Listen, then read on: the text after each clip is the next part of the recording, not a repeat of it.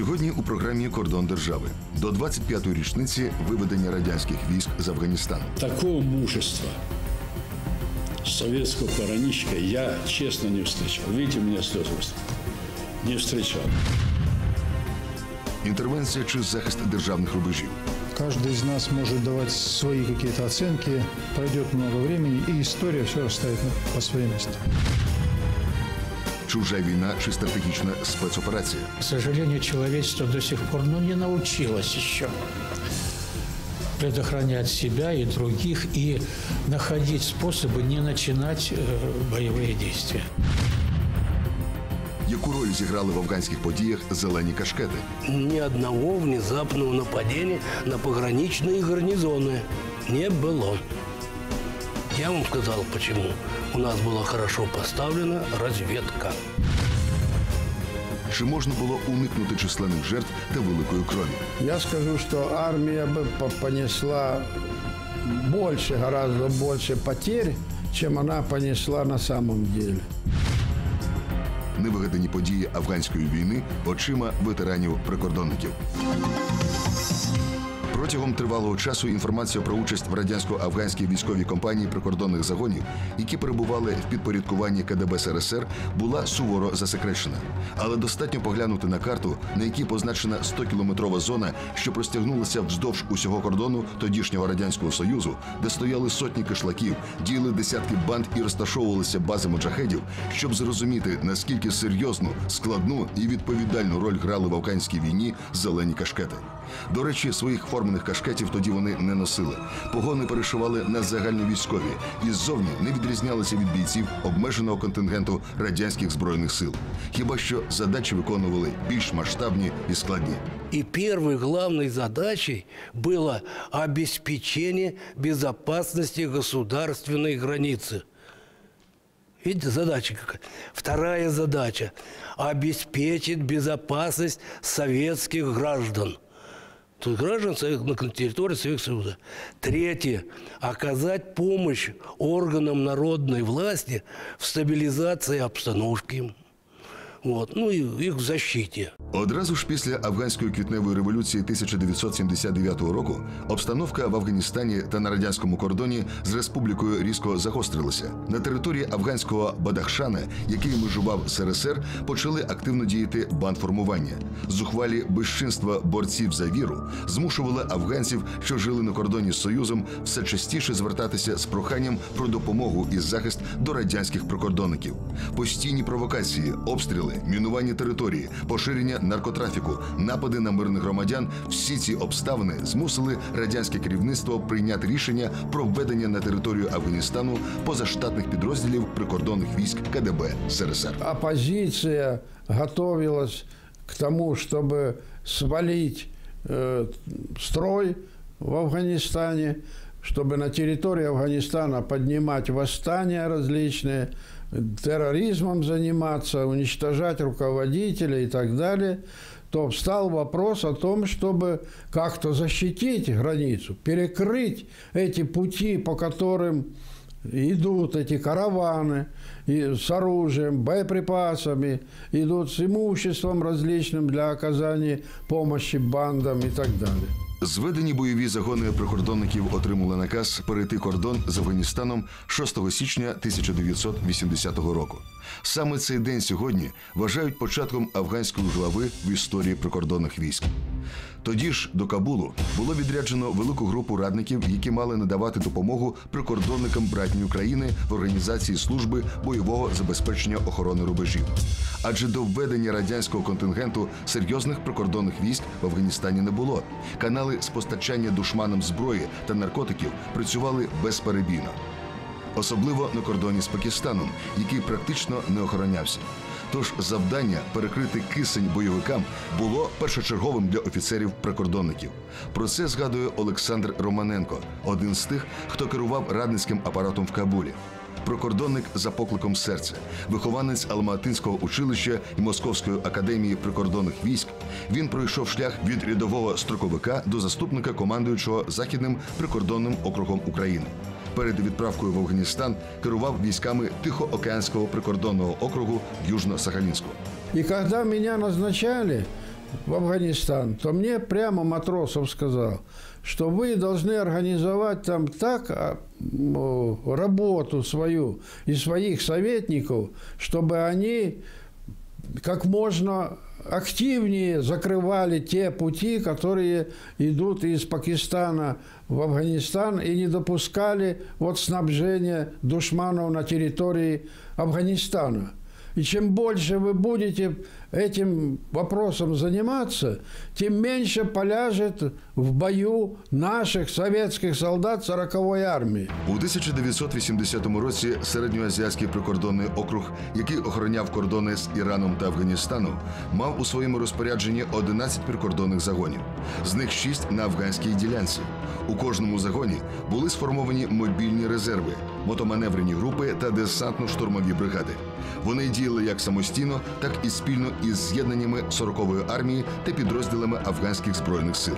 Окрім охорони державного кордону, їхнім завданням був супровід транспортних колон, забезпечення введення і виведення військових підрозділів, участь у ліквідації банд формувань, караванів із зброєю, наркотиками та боєприпасами Бойова підготовка у прикордонників була значно вищою ніж у солдат радянської армії, та й розвідка у зелених кашкетів працювала набагато оперативніше. Якби не дії прикордонників, підрозділи 40-ї армії зазнали б під час війни набагато більших втрат. Люди пребывали у нас, я вам скажу, что очень, очень подготовленные, очень надежные в, в Это- в идеологическом, политическом плане. Но надежные были истинно пограничники, понятие этого слова. Ведь никто, у нас же ни один не отказался служить в Афганистане. А много ли, немало, я вам открою цифру. За 10 лет побывало в Афганистане около 120 тысяч. Из них, из них, если честно говорить, у нас призыв-то шел в основном с Украины, туда, так, с Украины шел призыв. Вот сейчас на Украине ну, около 60 тысяч из 160 – это пограничники афганцы. Полковник запасу Григорій Мінін, батя, як його називали солдати, справжня легенда для прикордонників афганців. Він керував найвідомішими афганськими операціями Анхойською та Карагуші. Душмани давали за його голову мільйон зелених. Під час операції Мінін особисто вів переговори з ватажками бандформувань. Тільки в результаті Анхойської операції 5,5 тисяч бандитів, у тому числі регулярний полк Дустума, 1600 бойовиків здалися в полон. Але окрім бойових операцій, солдати Мініна займалися й мирною справою. Например, мы сделали 18 глубоководных скважин 300-метровой глубины. 18. А они, их нельзя выключать. Достали через Советский Союз, там все, вот эти емкости большие, чуть ли не на 200 кубов. Воду закачивали в эти емкости, метров на 500 от этой емкости трубы, ну, это, про, трубы, и там кран. И местные жители пользовались нашей водой, которую уже никто не мог ни отравить, ничего. Про створення позитивного іміджу військові тоді ще не чули, але працювали професійно. Прикордонна пропаганда серед мирного населення була поставлена на широку ногу. Мирні афганці швидко збагнули, що шураві, так вони називали радянських військових, воюють тільки з непримиренними, підтримуючи не лише офіційну владу, а й афганський народ. Але кращим засобом пропаганди були не лекції, плакати і листівки, а реальна допомога в економіці, освіті, культурі і медицині народу, який знаходився на межі гуманітарної катастрофи. Как раз медицинское обслуживание, уровень у медицинского обслуживания очень слабый был. И там э, ужасное распространение было. Прямо полыхали инфекционные заболевания. Забы почему-то вот такие вот до пояса были. То кожные там, там другие, туберкулез, это тоже сплошь и рядом. Я должен сказать, что там были построены несколько стратегических асфальтированных дорог. В перевале Саланг был пробит туннель. Построены были фабрики, заводы. Было много сделано для того, чтобы помочь э, до- добыче различных ископаемых полезных. Там создавали промышленность Советский Союз. Там строили дома в Кабуле современные. Практично всі операції в Афганістані здійснювалися з використанням вертолітної авіації, яка виконувала безліч завдань, забезпечувала боєприпасами, водою, продовольством, прикривала з повітря транспортні колони і мотоманеврені групи, завдавала позиціям бойовиків ракетно-бомбових ударів, проводила розвідку та доставку десантно-штурмових груп. Завдяки малій авіації, зокрема вертольотам Мі-8, втрати у прикордонників були мінімальними.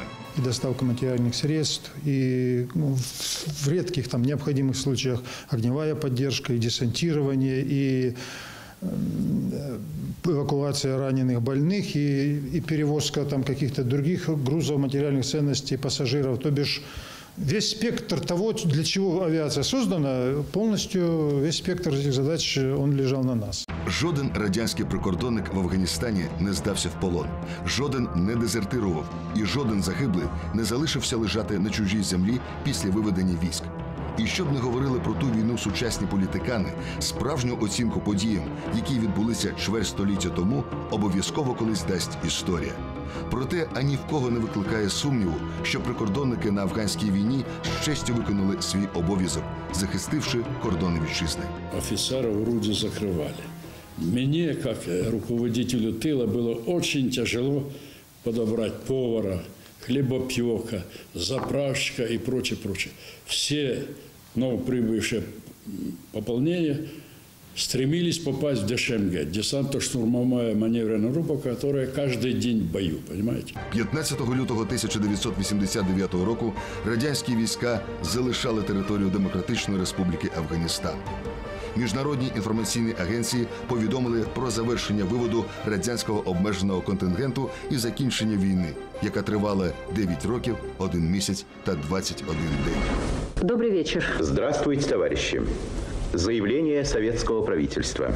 Действуя в точном соответствии с Женевскими соглашениями, СССР завершил вывод советских войск из Афганистана. В этой стране не осталось ни одного советского солдата. Ці кадри облетіли весь світ.